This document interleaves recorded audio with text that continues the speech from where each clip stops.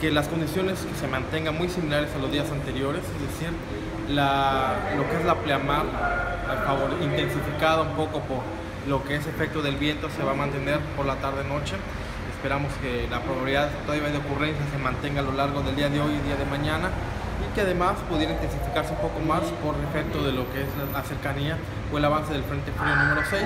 que se espera que a pesar de que está debilitado, eh, tenemos un nuevo sistema frontal en la parte norte del Golfo de México